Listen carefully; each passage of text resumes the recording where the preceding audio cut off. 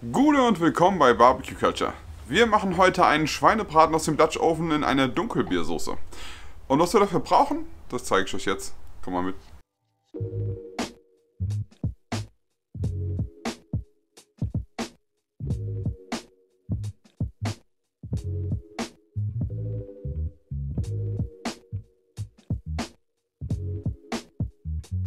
Also, für unseren Schweinebraten brauchen wir natürlich einen Schweinebraten. Das hier sind anderthalb Kilo aus der Schulter. Die habe ich gestern Abend mariniert. Ich zeige euch jetzt mal ein paar Bilder. Ähm, ich habe mir eine eigene Marinade angerührt, im Mörser erst, dann ein bisschen mit ähm, Olivenöl vermischt und das Ganze dann hier einvakuumiert, dass der heute Nacht schön marinieren kann. Der ist jetzt fertig, den müssen wir gleich auspacken. Dazu brauchen wir noch ein bisschen Gemüse, ein bisschen Lauch, Karotten, Zwiebeln, Knoblauch, ein paar Gewürze, Salz, Thymian, Pfeffer, Bier als Gewürz oder als Soße, je nachdem. Ein bisschen Tomatenmark, eine Gemüsebrühe und im Grunde genommen ja, ein bisschen Sahne am Ende. Das ist aber kein Muss, das ist optional, das könnt ihr machen, wie ihr wollt. Aber das seht ihr am Ende. Das sind unsere Zutaten. Und jetzt müssen wir loslegen. Jetzt machen wir erstmal unsere Kohlen heiß. Kommt mal rüber. So, verwenden tun wir heute die ups, Coconut Heat von Barbecue Toro. Die sollen richtig schön Hitze bringen. Dann gucken wir mal, wie wir unser Fleisch schön anbraten können. Die zünden wir uns jetzt an und dann geht es gleich am Top schon weiter.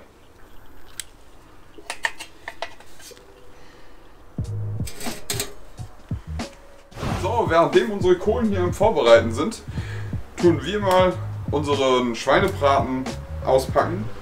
Und ich bin jetzt mal gespannt, was mir da gleich für ein Duft entgegenkommt. Wie gesagt, die Inhaltsangaben findet ihr unten in der Infobox oder auf meinem Blog. Und jetzt packen wir mal aus und dann riechen wir mal dran. Mal gucken, was so bei rumkommt. Na, nicht weit genug geschnitten.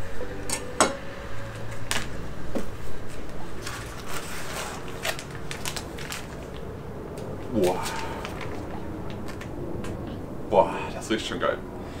Den tupfen wir jetzt noch ein bisschen ab, bisschen viel Flüssigkeit dran und dann treffen wir uns gleich schon am Topf wieder, wenn wir das Ganze nämlich anbraten. Also, ich tupfe das jetzt ab und dann sehen wir uns wieder. So, unseren Braten haben wir rausgeholt, den haben wir ein bisschen abgewaschen, ein bisschen abgetupft. Die ganzen Kräuter, die da jetzt dran waren, wenn wir die jetzt beim Anbraten dran lassen würden, würden die uns einfach verbrennen. Also es würde gar nichts bringen. Deswegen das Ganze ein bisschen abgewaschen, ein bisschen abgetupft, dass er nicht ganz so feucht ist. Und dann bleibt das übrig. Das riecht fantastisch, also die Marinade ist der Knaller. Das bisschen, was jetzt an Kräutern noch dran ist, ist nicht schlimm. Das macht keinen Unterschied. Aber den Großteil solltet ihr versuchen wegzukriegen. Nicht, dass ihr zu viel verbrannte Kräuter dann später drin habt. Jetzt geht es noch ein bisschen ans Gemüse. Müssen noch ein bisschen was schnibbeln, ein bisschen was schälen. Dazu hole ich euch nochmal ran. Also, kommt her. So, unsere Karotten müssen wir natürlich schälen. Ähm, den Lauch, dann nehmen wir uns die äußerste Hülle ab. Den Knoblauch tun wir uns ganz fein hacken und die Zwiebeln tun wir uns auch recht fein hacken, weil die tun wir später noch ein bisschen mit anschwitzen. Ja, das machen wir jetzt und dann geht es auch gleich am Topf los. Dann muss das Fleisch erstmal angebraten werden. Also tun wir mal schälen und schnibbeln.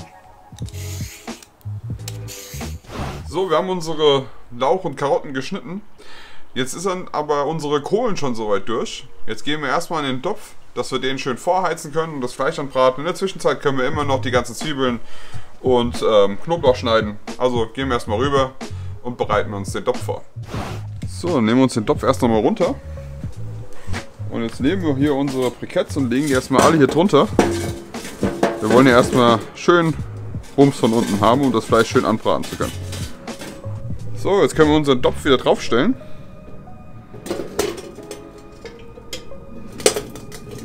Lassen den jetzt erstmal heiß werden und dann geht es zum Braten weiter.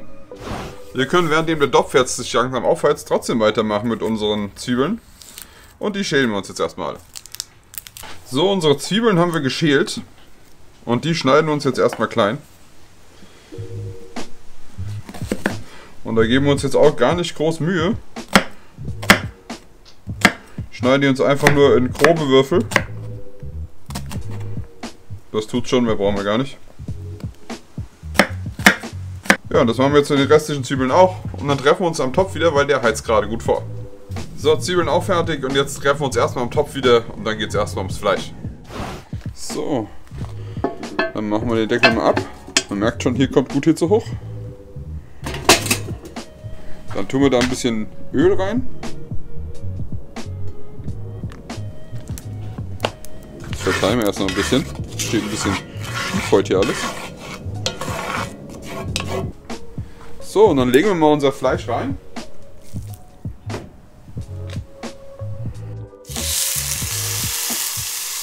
Ich liebe dieses Geräusch.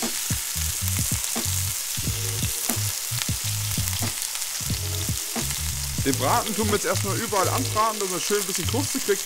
Und dann nehmen wir ihn wieder raus und dann kommen erstmal die Gemüse und die Zwiebeln alles rein. So, dann drehen wir das gute Stück mal. Ah ja, so sieht das aus. Sehr schön. Und weiter geht's. So, dann drehen wir nochmal. Jetzt nehmen wir uns nochmal eine andere Seite. Ja. Und lassen es jetzt mal hier so ein bisschen stehen. Versuchen wir auf allen Seiten ringsrum da auf jeden Fall auch nochmal Röstaromen dran zu kriegen. So, unser Braten hat jetzt überall schön Röstaromen bekommen. Sieht doch jetzt schon geil aus. Den holen wir jetzt aber erstmal wieder da raus. Und als nächstes tun wir jetzt unsere Zwiebeln rein.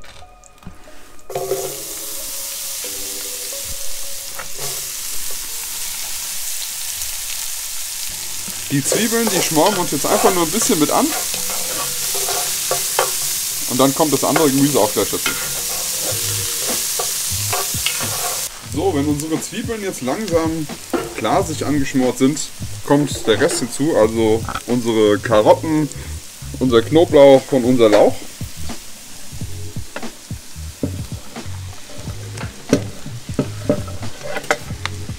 Und das schmoren wir jetzt auch noch mal kurz mit an. So, wir haben jetzt alles angeschmort. Dann haben wir uns hier unten ein bisschen Platz. Und jetzt kommt hier unten noch ein bisschen Tomatenmark rein, gar nicht so viel. Das ist jetzt nicht so hoch konzentriert, weil das auch schon ein bisschen vorgewürzt ist. Ihr könnt aber ganz normales Tomatenmark nehmen. Das tun wir jetzt auch noch ein bisschen mit anschmoren und dann geht es gleich wieder weiter. So, jetzt haben wir das hier unten auch ein bisschen mit anschmoren lassen und jetzt tun wir das Ganze wieder gut verrühren hier.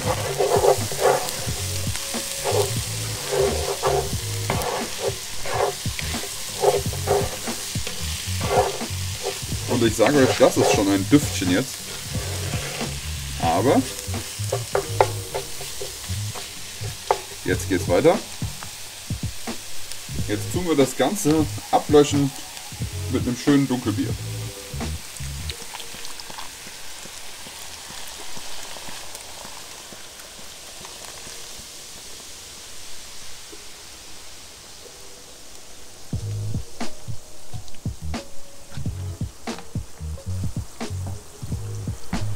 Das Ganze wieder gut verrühren. Kommt jetzt noch ein bisschen Gemüsebrühe dazu.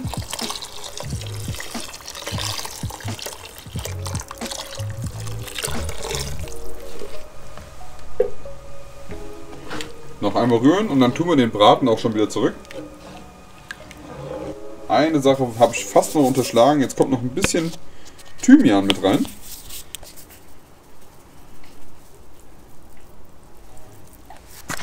Noch ein bisschen frischen Pfeffer.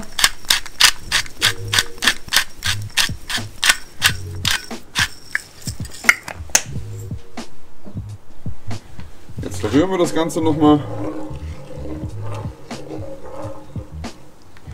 Und jetzt kommt unser Braten zurück. Unser Prachtstück.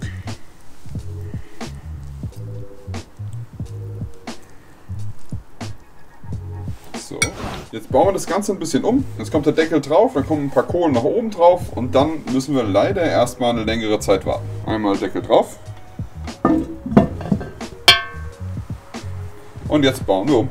So, da wir ja nicht so viel Hitze von oben wollen, sondern eigentlich die meiste von unten, dass es schön kochen kann, haben wir nur ein paar oben hingelegt. Ähm, das sollte so tun. Und jetzt heißt es leider lange warten für mich. Für euch ist es gleich wahrscheinlich soweit. Also für euch bis gleich, für mich bis nachher.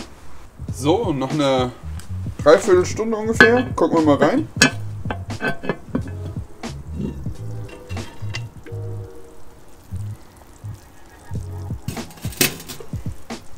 Jetzt nehmen wir uns den Braten und drehen den einmal. Oh, riechen tut das schon fantastisch. Sehr lecker. Jetzt rühren wir hier ringsrum noch mal ein bisschen, dass ich das alles noch ein bisschen verteilen kann.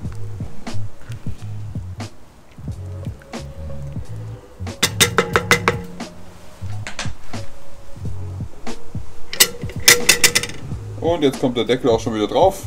Und jetzt heißt es wieder warten.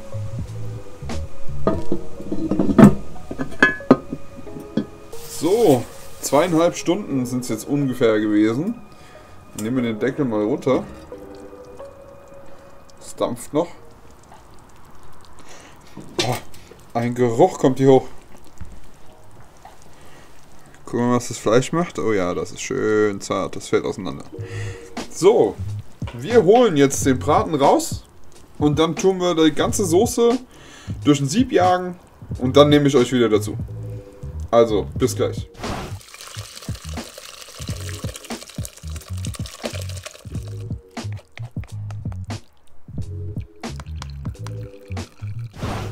So, unsere Soße geben wir wieder zurück. Weil die ist ja noch nicht ganz fertig.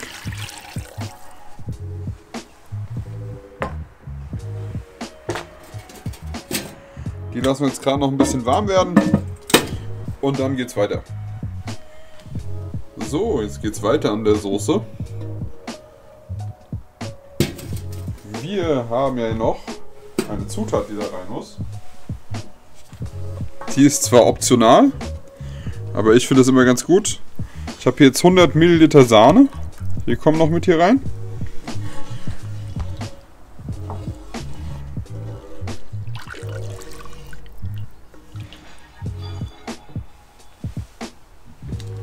Und ich habe hier noch ein bisschen Speisestärke mit ein bisschen Wasser angerührt.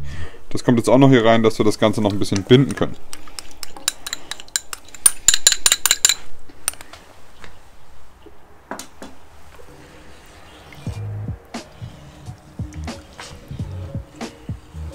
Jetzt lassen wir das kurz noch ein bisschen binden, nicht mehr kochen lassen.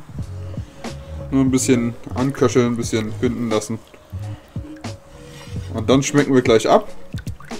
Und dann ist die Soße eigentlich auch schon fertig. So, unsere Soße ist jetzt eigentlich fertig. Jetzt kommt unser Fleisch nochmal kurz zurück.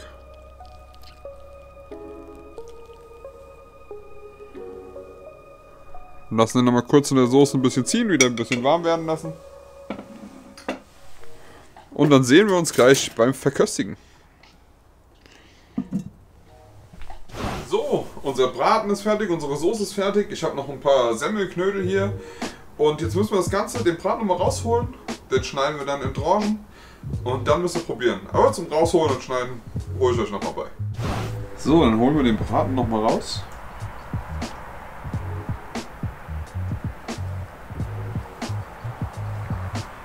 Und Jetzt schneiden wir ihn in Scheiben. So, dann einmal Scheiben schneiden. Aufpassen, dass es nicht auseinanderfällt.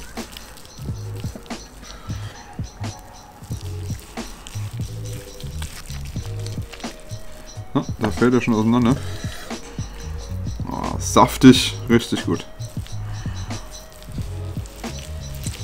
So, ich würde sagen, ich schnapp mir mal was davon und dann richten wir ein Tellerbild an und dann sehen wir uns gleich wieder.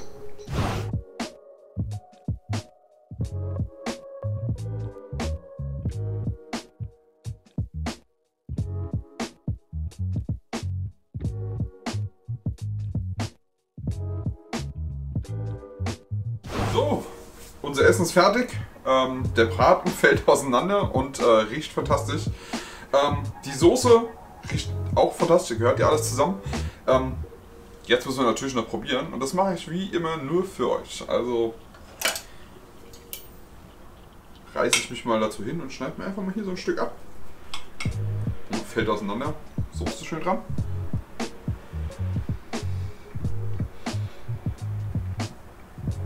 So muss das sein. Das zergeht auf der Zunge. Richtig geil. Der Geschmack ist richtig gut. Man bekommt auch von dieser Marinade noch richtig was mit. Die Soße schmeckt richtig gut. Also das, das Bier schmeckt man schon noch raus. Echt gut. Also kann ich nur empfehlen. Richtig schön. Richtig schönes Wintergericht. Soul Food. Also, wenn euch das gefallen hat, gebt mir einen Daumen nach oben, abonniert meinen Kanal, vergesst die Glocke nicht, dann kriegt ihr mit, wenn das nächste Video kommt. Ähm, schaut doch mal auf Instagram vorbei, da kriegt ihr immer so ein paar Bilder, wenn ich das gerade mache, auf meinem Blog. Da kriegt, kriegt ihr noch ein paar andere Rezepte. Inhalt, ähm, Inhaltsangaben, was wir hier verwendet haben, findet ihr natürlich wieder unten in der Infobox. Ich würde mich über einen Kommentar freuen. Lasst mal einen da. Euer Max von Barbecue Culture und ich hoffe, wir sehen uns beim nächsten Mal und tschüss.